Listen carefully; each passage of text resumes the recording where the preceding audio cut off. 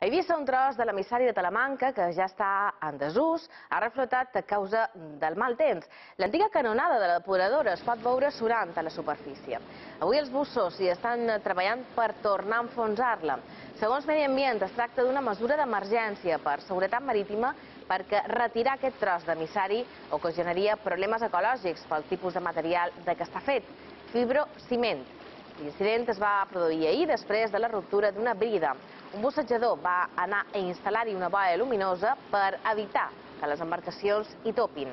El govern va descartar fa uns mesos retirar l'emissari del fons per l'elevat cost.